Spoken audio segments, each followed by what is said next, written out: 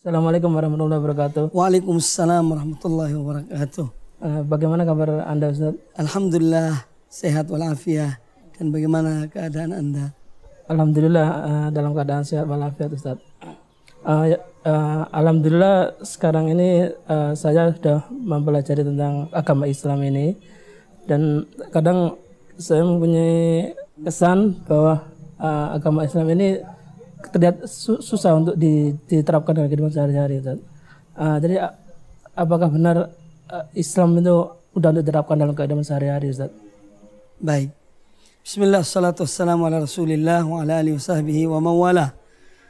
Alhamdulillah yang pertama kita patut mensyukuri Allah subhanahu wa ta'ala atas berbagai nikmat yang Allah anugerahkan kepada kita. Terutama nikmat iman dan Islam. Dan Alhamdulillah saudara telah mengenal Islam, saudara telah berkeyakinan dengan Islam dan ini satu nikmat yang luar biasa yang Allah anugerahkan kepada seorang hamba dan tidak pada setiap hamba-hambanya diberikan petunjuk oleh Allah Subhanahu wa taala.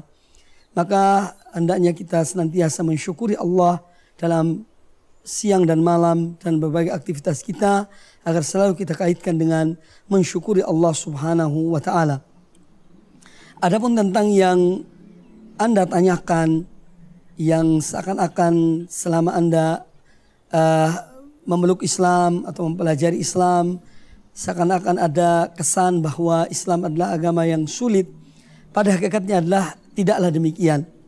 Karena Allah Subhanahu wa taala uh, ketika mensyariatkan Islam ini kepada umat manusia dan kepada hamba-hambanya Allah memberikan kemudahan yang banyak di dalam Islam ini. Baik dalam akidahnya, baik di dalam ibadahnya, maupun dalam bermuamalah.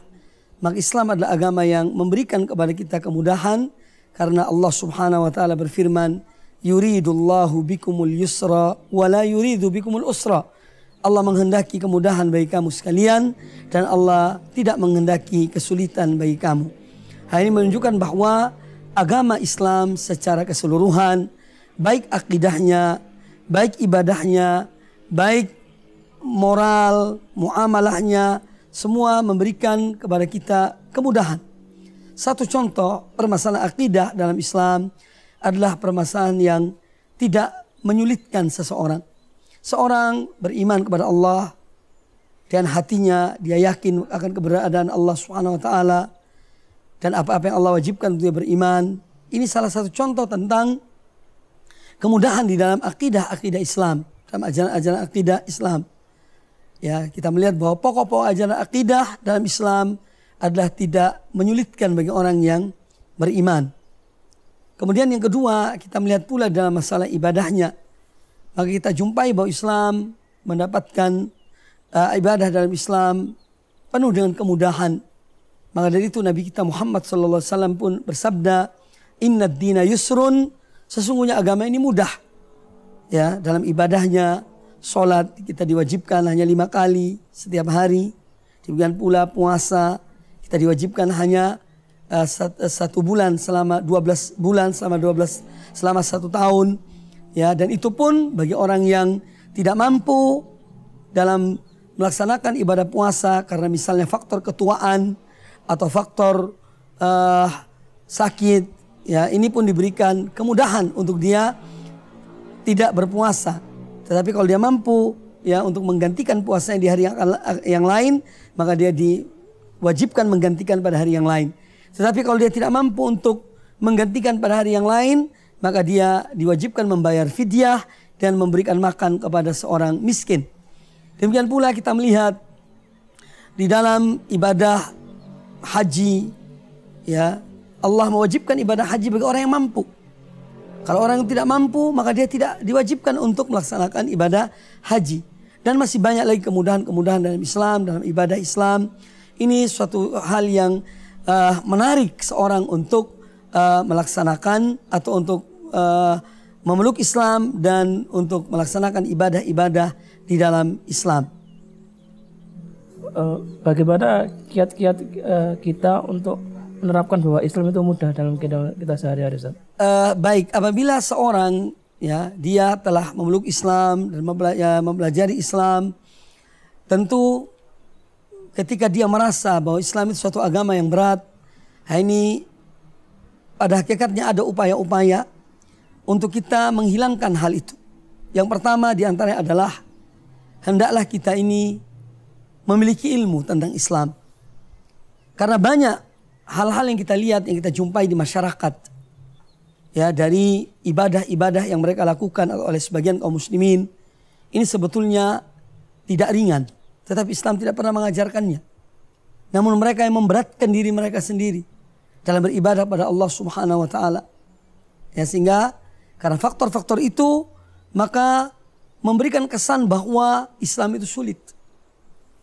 Ada satu tuntunan yang tidak pernah diajarkan oleh Rasulullah SAW seperti uh, membaca suatu salawat atau solawat yang ditentukan oleh mereka yang membuat atau mengikuti solawat tersebut. Barang siapa membaca 4.444 kali solawat itu, ini uh, akan dimudahkan semua urusannya. Akan dipenuhi semua hajatnya.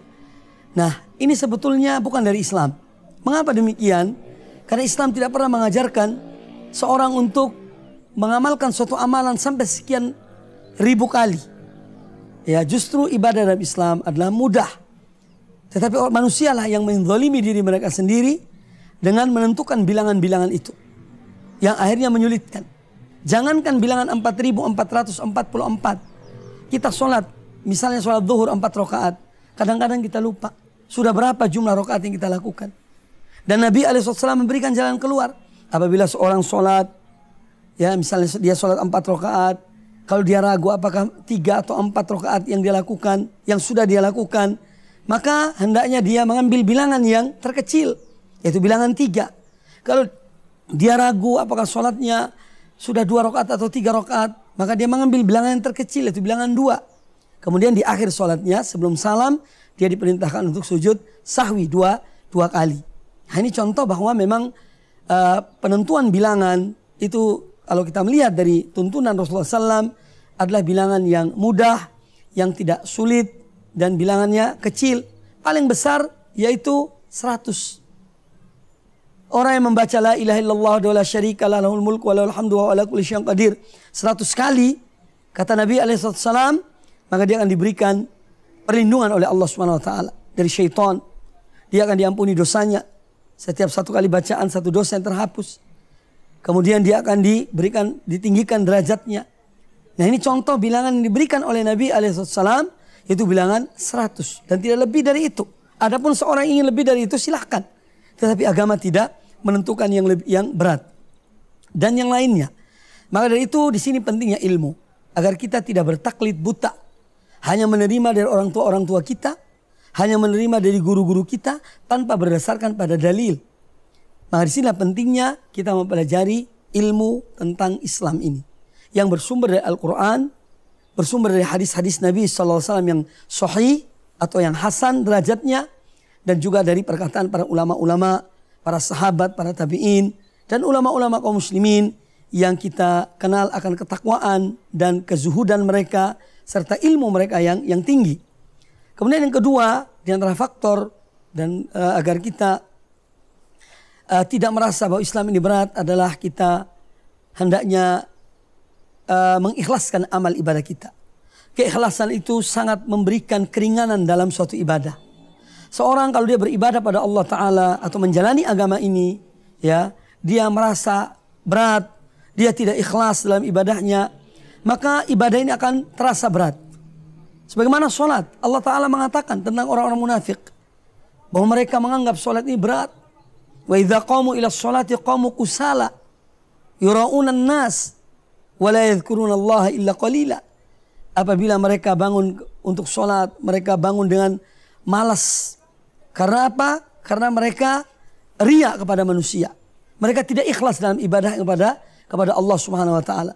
Mereka ibadah, lakukan ibadah salat hanya untuk dipuji orang. Sehingga berat ibadah itu karena ketidakikhlasan. Ya. Kemudian mereka ibadah bukan untuk mengingat Allah, tapi untuk mendapatkan kedudukan-kedudukan di dunia ini. Ya, sehingga ibadah itu berat. Dan Allah taala menyebutkan bahwa ibadah ini berat. Kecuali orang-orang yang mukhlisin. Orang-orang yang yakin kepada Allah subhanahu wa ta'ala. Wa innaha lakabiratun illa alal khashiin. Dan sungguhnya solat itu berat. Kecuali bagi orang-orang yang khusyuk. Orang-orang yang khusyuk itu orang yang tunduk dan patuh kepada Allah Ta'ala. Yang ikhlas dalam amal mereka. Orang-orang yang yakin bahwa mereka akan bertemu dengan Allah Subhanahu wa taala. Nah, ini akan sangat meringankan ibadah seseorang dalam melaksanakan ibadah di dalam Islam ini atau menjalankan Islam itu apabila dan ikhlas insya Allah akan menjadi ringan baginya ibadah itu. Kemudian faktor yang ketiga agar seorang mendapatkan dan uh, pertolongan dari Allah Taala sehingga dia merasa ibadah ini ringan yaitu hendaknya dia selalu mengikuti tuntunan Nabi Sallallahu Alaihi Wasallam. Rasul Alaihi sebagaimana dikatakan oleh Ummul Mukminin Aisyah radhiyallahu anha, kadang-kadang ada suatu amalan yang beliau ingin lakukan, tetapi beliau takut kalau beliau khawatir kalau kalau memberatkan umatnya, maka kemudian beliau tinggalkan amal itu. Ini menunjukkan bahwa ibadah-ibadah yang dilakukan oleh Nabi Sallallahu Alaihi Wasallam ya banyak memberikan keringanan kepada kepada kita, kepada umat beliau. Bahkan beliau alaihissalatu wassalam bersabda, ya ketika ditanya amal apakah yang paling dicintai oleh Allah subhanahu wa ta'ala dari hambanya. Beliau mengatakan itu amal yang sedikit amal yang selalu istiqamah walaupun hanya sedikit. Adwamuha wa in qalla. Yaitu amal yang dilakukan secara terus menerus walaupun sedikit.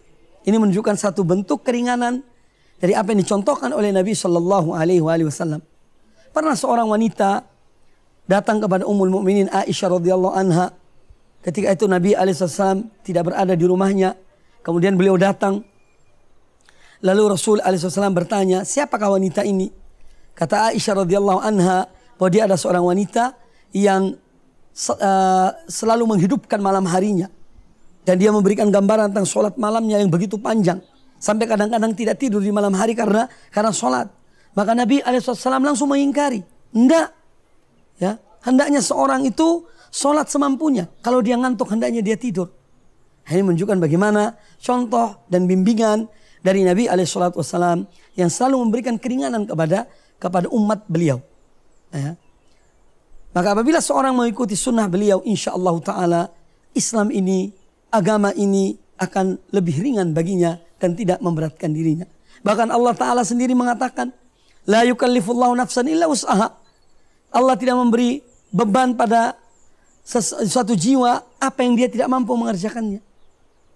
Ya, ini faktor yang ketiga. Kemudian yang keempat, di antara faktor yang dengannya seorang itu akan merasa ringan dalam ibadahnya dan dalam memeluk Islam, hendaknya dia selalu yakni dalam amal-amal ibadahnya bervariasi.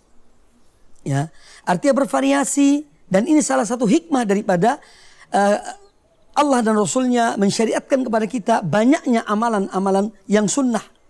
Ya, seorang misalnya ya dia bisa sholat di malam hari, silahkan dia sholat di malam hari.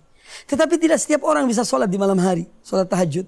Ada mungkin yang lebih cenderung dia lebih tekun dalam membaca Al-Quran. Silahkan dia membaca Al-Quran. Ada orang yang lebih cenderung untuk melakukan ibadah puasa sunnah. Maka silahkan dia mengambil ibadah puasa sunnah dan istiqomah dalamnya. Dan seterusnya. Sehingga variasi dalam amal-amal ini akan membuat amal itu menjadi ringan. Nah, itu di antara faktor-faktor yang dapat memberikan keringanan kepada kita. Kemudian yang kelima yang berikutnya hendaknya seorang dia menjauhi perbuatan-perbuatan yang tidak dicontohkan oleh Nabi Sallallahu Alaihi Wasallam. Karena banyak di antara amalan-amalan yang tidak dicontohkan oleh beliau justru memberikan beban yang berat kepada kepada umatnya. Padahal beliau tidak me, me, me, me, mewajibkan, bahkan tidak pernah mensunahkan kepada kita. Ya, tetapi karena kita ingin seakan-akan ingin melebihi amalan yang diajarkan oleh beliau, sehingga kemudian timbullah amalan-amalan yang dilakukan oleh sebagian kaum muslimin Padahal tidak diajarkan oleh Nabi Alaihissalam. Dan ini sangat memberatkan. Ada istilah mereka puasa putih selama 40 hari. Tidak ada contohnya dari Allah dan Rasulnya. Allah tidak pernah meng mengajarkan kita memerintahkan berpuasa lebih dari 30 hari. Dan itu pun setahun sekali di bulan Ramadan. Dan kemudian kita melihat ada orang-orang yang ingin mencapai derajat tertentu. Mereka puasa selama 40 hari. Yang disebut dengan puasa putih misalnya. Atau amalan-amalan yang lainnya. Ada yang sholat sampai sekian ratus rakaat, sekian, mungkin sampai seribu rakaat, padahal tidak pernah diajarkan dan dicontohkan oleh Nabi Alaihissalam. Maka apabila kita menghindar dari dari amalan-amalan yang dilakukan oleh manusia, yang diproduk oleh mereka, ya, dan uh, kita menghindar dari itu semuanya dan kita cukup dengan apa yang diajarkan oleh Rasulullah SAW, ini akan betul-betul memberikan keringanan kepada kita di dalam menjalani Islam, yang mana Islam adalah agama yang betul-betul uh, dimudahkan oleh Allah Subhanahu wa taala. Wallahu taala a'lam. Alhamdulillah. Terima kasih Ustaz atas ilmu yang Anda berikan kepada kami Ustaz. Sama-sama semoga bermanfaat. Uh.